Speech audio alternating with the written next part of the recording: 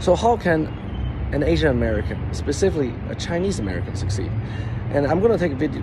I'm going to do this video about Chinese Americans because even within the Asian American group, there are many sets of different experiences.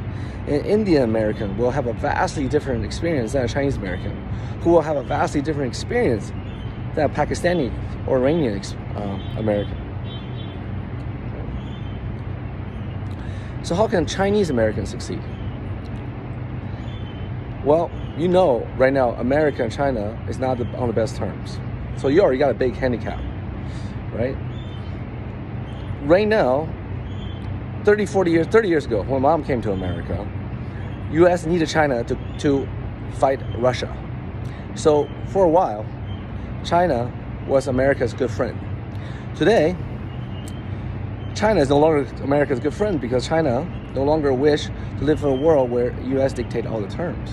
And as such, China now became what Russia was 30, 40 years ago, which is a strategic enemy so everything, so at this point, China can do nothing right. No matter what China does, it's wrong. Even when China called for neutrality and don't want, and basically saying, like, let's let's sit down on table. America is blaming China for not doing enough to stop Russia. Right? China can't do no right. So you say, well, I'm not Chinese. I'm a Chinese American. Okay, do I need to say the obvious?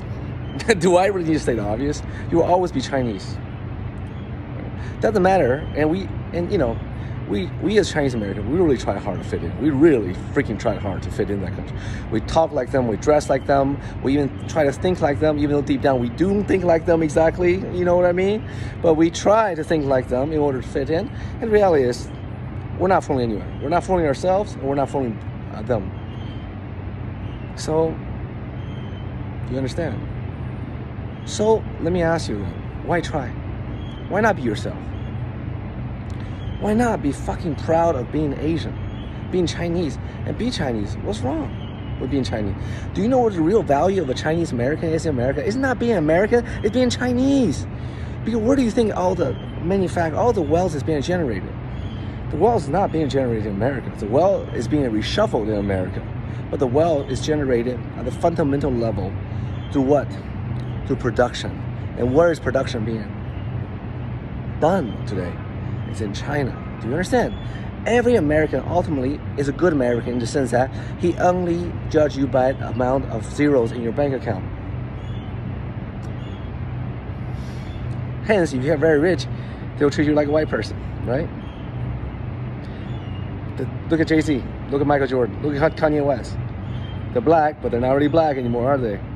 Okay, so you understand this game. Okay, so then the question is, how do I get to that level? How do I, the only way you can shed your Chinese is. It's not by shedding your Chinese in, but by being a Chinese and being the freaking Chinese that all Americans both love and hate. That bling bling, freaking insanely rich Chinese. Okay, so how do you get there? Well, I can tell you that getting there in America, following their system, following the American way, you're not going to do it. Okay, you're just a workhorse that they ride you. They're gonna ride you, ride you, ride you till they can't ride you no more because you're too old, too too irrelevant, too obsolete, and they're gonna find another young Asian guy, guy, Chinese guy to ride. Do you understand? So how do you get rich? There's only two ways. One is you control some sort of technology or asset. As you know, technology essentially is asset, right? But controlling financial assets hard when you have no money, but controlling technology, you can do that without money by hard work, ingenuity, and working for the right people with the right people. Right? So, if you are a young Asian Chinese American, control something, control technology, control knowledge, Okay, technology knowledge could don't don't have to be just like Internet of Things. Doesn't have to be IT. It could be medicine. It could be medical. It could be discovery, research, discovery. Control something. Because one thing that I can tell you about America, in that in the sense that it is somewhat more fair than anywhere else, because if you control technology, you can patent it. If you can patent, it, you can protect it legally with lawyers, and then they, them, Americans, cannot go around you. They have go through you. If they go through you, they have to pay a fee. And that's how you get rich. So in that sense, I still admire America for being for giving people a fair shake because I'll be honest with you. Let's face it, if you're in China, even if you control technology, they can go go around you, right? They can just take that thing from you. You got nothing. You got no protection. At least America give you that protection. But you have to get into the right things. Going to finance, bad idea. Why? At least financing in the U.S. is a bad idea because you have no value there. They got the Jews. They got the white people.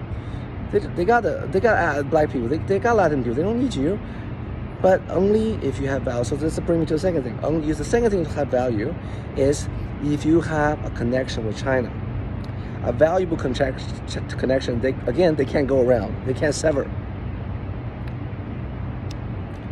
Who do you think they staff in JP Morgans and Goldman Sachs in Chinese China offices, Hong Kong offices, even New York offices? They staff them with Chinese kids whose parent has connection in the Chinese society, Chinese government, Chinese businesses. Do you understand? America is not stupid. Don't buy that bullshit. They know what's up, okay? And they play the game. Don't don't listen to them and think that oh American society is different from Chinese society. No, all society is the same. I have traveled in 80 plus society. I'm doing business in the Middle East, and believe me, there are the same people. Everyone's the same. Okay.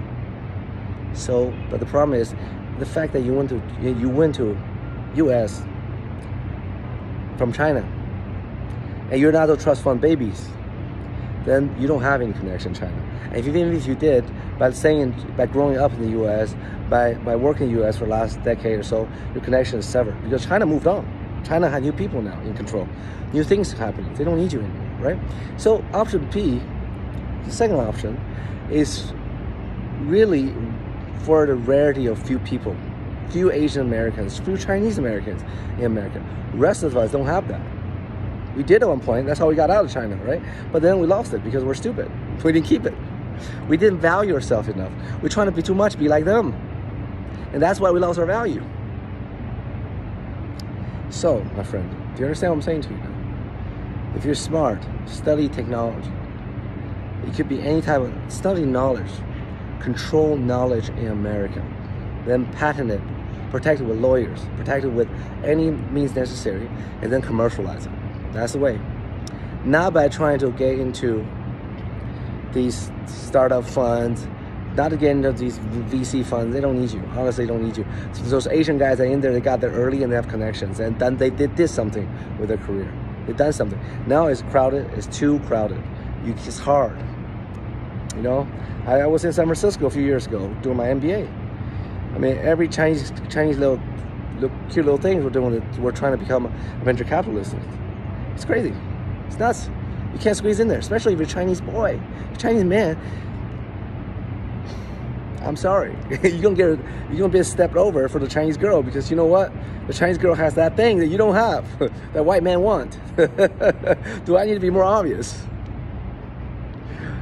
All right, so I hope my straight talk, my real talk, answered your question. If you can't control something, you have no future in America because they don't need you. They don't like you. They don't want you there. They see you as an enemy. Or you come to my world. Because outside of America, outside of the outside of Europe, it's our playground.